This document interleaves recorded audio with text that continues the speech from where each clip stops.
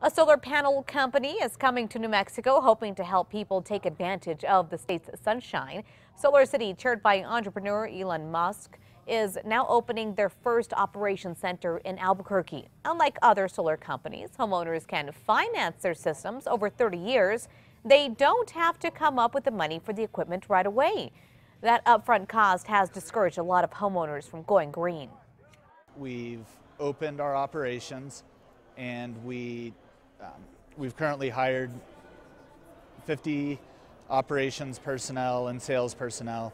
We're in the process of looking for another 30 candidates and we'll likely be up to 100 employees by the end of the year.